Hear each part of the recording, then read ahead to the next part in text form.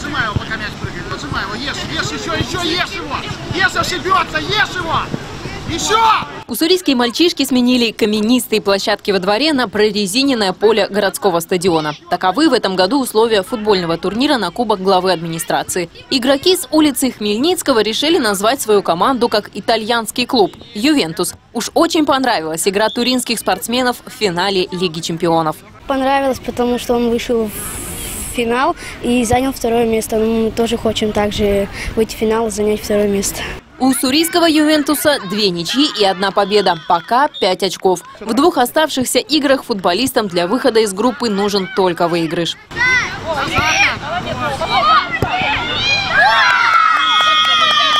Ну вот во встрече с драйвом «Ювентус» за два тайма не смог выбиться в лидеры. Упорный матч и ничья. 2-2.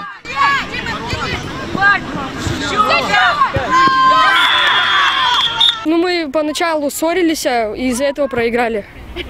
Почему ссорились? Чего, о чем не договаривались на поле? Ну, там у нас игроки хотели выйти в первом этом, ну, в стартовом, первом тайме. И вот, и они поссорились из-за этого, то, что они не вышли. Параллельно на поле сражались команды «Пегас» и «Северный-1». Вратарь «Пегаса» не стеснялся выходить в глубину площадки и брать на себя роль полевого игрока. Но не всегда такая помощь приносила нужный результат. Ведь в такие моменты футболист не застрахован от нападения соперников. Чтобы помочь команде забивать, голы нужны всегда.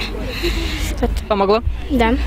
Футболисты команды «Северный-1» были в нескольких шагах от того, чтобы догнать соперника по забитым мячам. Второй тайм мальчишки провели в хорошем темпе. Чтобы сравнять счет, не хватило двух голов. Итог встречи 5-3. Но игроки все равно довольны тем, как проводят время. Удалось набрать 9 очков, и турнир проходит хорошо. Настроение позитивное. Еще одну встречу провели «Тигры» и Nike for Real. Встреча закончилась со счетом 2-1 в пользу «Тигров». Четвертый матч понедельника не состоялся. Одна из команд не приехала на игру. Возрастная категория 10-12 лет поделена на две подгруппы А и Б. В первой лидируют команды «Барс», «Содействие» и «Скиф». Во второй – «Драйв», «Северный» и «Тигры». Команды сыграли неравное количество матчей, и в запасе у всех есть по несколько игр. Поэтому и у других коллективов еще сохранились шансы на выход из группы. Окончательный итог будет известен в конце этой недели. Екатерина Рехтина, Сергей Флоренцев и Антон Войцеховский. Телемикс.